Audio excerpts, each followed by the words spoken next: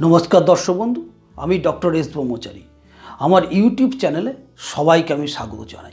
আজকে gastric ulcer পেশেন্টদের খাদ্য খাবার সম্বন্ধে আলোচনা করব। গ্যাস্ট্রিক আলসার থেকে দ্রুত আরোগ্য লাভের জন্য এই খাদ্য খাবারের বিশেষ ভূমিকা আছে। যদি কোনো স্বাভাবিক ব্যক্তি এই নিয়ম আজীবন মেনে চলেন, তার গ্যাস্ট্রিক আলসার হওয়ার প্রবণতাও অনেক অংশে কমে যায়। ভিডিওটি আপনারা প্রথম থেকে শেষ পর্যন্ত সম্পূর্ণভাবে দেখুন। ভিডিওটি যদি ভালো লাগে, অবশ্যই একটি লাইক করুন আর আপনার বন্ধু বান্ধব আত্মীয় স্বজনদের মধ্যে শেয়ার করুন। আপনি যদি আমার চ্যানেলের নতুন দর্শক বন্ধু হন, অবশ্যই চ্যানেলটি সাবস্ক্রাইব করে পাশের বেল আইকনটি একবার ক্লিক করে অল নোটিফিকেশানটি ক্লিক করুন। এই রকম medical related video medical tips পেতে হলে অবশ্যই চ্যানেলটি সাবস্ক্রাইব করুন। দেখুন আজকের নতুন ভিডিও গ্যাস্ট্রিক আলসার সৃষ্টিকারী ব্যাকটেরিয়া হেলিকোব্যাক্টর পাইলোরি আবিষ্কার হওয়ার পর গ্যাস্ট্রিক আলসার পেশেন্টদের সারানোর পথও আমাদের অনেক মসৃণ হয়েছে। খাদ্য তালিকা থেকে এমন কিছু খাদ্য, খাবার আমাদের বেছে নিতে হবে, যেগুলি গ্যাস্ট্রিক আলসার সৃষ্টিকারী ব্যাকটেরিয়া হেলিকোব্যাক্টর পাইলোরির বিরুদ্ধে আমাদের প্রতিরোধ ক্ষমতা গড়তে সাহায্য করে। এই গ্যাস্ট্রিক আলসার পেশেন্টদের খাদ্য খাবারের জন্য আমি দুটো টপিক তৈরি করেছি। প্রথম টপিক হলো গ্যাস্ট্রিক আলসার পেশেন্টরা কী কী খাদ্য খাবার খেতে পারবে এবং গ্যাস্ট্রিক আলসার পেশেন্টরা কী কী খাদ্য খাবার খেতে পারবে না।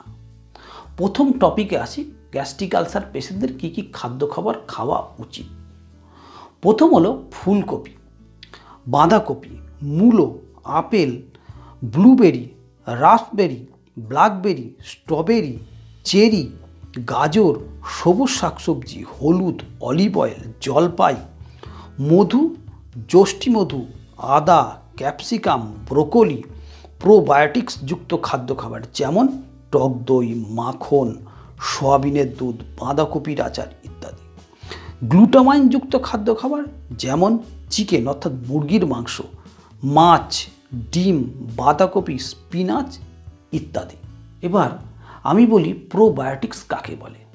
প্রোবায়োটিক্স হলো এমন কিছু জীবন্ত মাইক্রো অর্গানিজম যেগুলো কিছু খাদ্য খাবারে পাওয়া যায়। যে মাইক্রো অর্গানিজমগুলো আমাদের শারীরিক কন্ডিশানকে ইমপ্রুভ করতে সাহায্য করে এবং শরীরে উপস্থিত কিছু বিনষ্টকারী ব্যাকটেরিয়ার সঙ্গে যুদ্ধ করে শরীরকে রক্ষা করে। এই লিভিং মাইক্রো অর্গানিজমকে আমরা বলে থাকি প্রোবায়োটিক্স এবার আমি বলব গ্যাস্ট্রিক আলসার পেশেন্টদের কী কী খাদ্য খাবার খাওয়া উচিত নয়?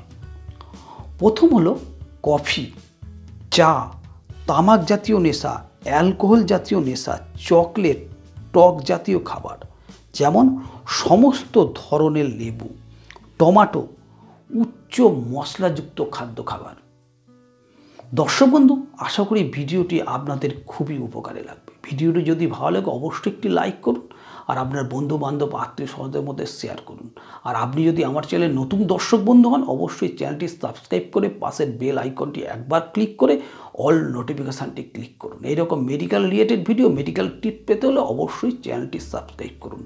আজ আশি দর্শক বন্ধু, সামনের দিন একটি নতুন ভিডিও নিয়ে আপনাদের সঙ্গে দেখা হবে। নমস্কার।